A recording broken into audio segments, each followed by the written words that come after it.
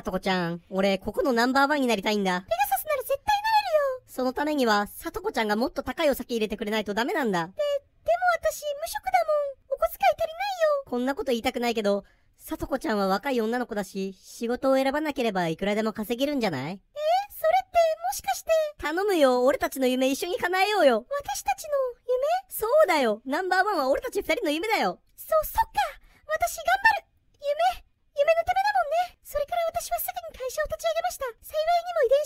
バイオメカニクス、機械工学、計算機科学、脳科学などの諸知識に加え、経営学の素養もあったため、AI とクローンの分野ですぐに成功し、あっという間に我が社は時価総額日本一になりました。それから M&A を繰り返し、世界最大の巨大コングロマリットを形成しました。GAFA を買収した頃、私の企業はもはや国家を超えた存在になります。さらに技術的得意点となる AI、通称モルペースの完成により技術進化は指数関数的な伸びを見せることになります。その後小惑星ほどの大きさの巨大スーパーコンピューター、通称ドリームを作り、人類の情報は遺伝子レベルに至るまで全てその中に保存されます。これで我々人類はバックアップを手にし、今の我々に肯定する必要がなくなりました。ドリームはもう一つの宇宙となり、その中では人類はコピペするように複製することも滅亡させることもできます。実際 AI は何度となく人類を滅ぼしましたが、それも全てデータを取るためであり、バックアップが保証されているからにそう言いありません。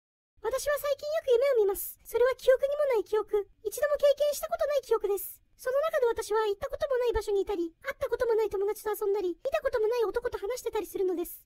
でも決まって夢の最後は誰かに何もかも滅ぼされて終わるのです。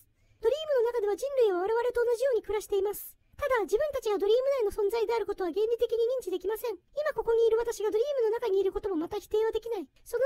はまたドリームを作り無限に宇宙を増やしていくのです。ここはまるで誰かの夢の中の夢の中の夢の中の、キリがありません。今思うことはたった一つ。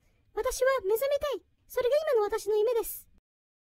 さとこちゃん、そんなこといいから早く今月の売り上げゼロペガサスお前はクビだーそ、そんな